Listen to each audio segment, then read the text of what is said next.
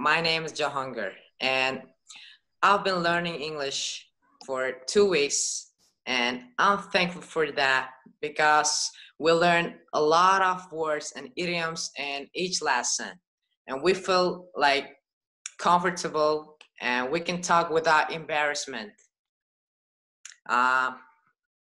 like lessons are like uh, unusual and when we talk with our tutor we feel like um, we're talking with like uh, american uh, tutor and so on. And that's all the and if i will learn if i will continue learning english in this like in this class i'll be great and i can i can speak without embarrassment and i'll i thankful for that and for my tutor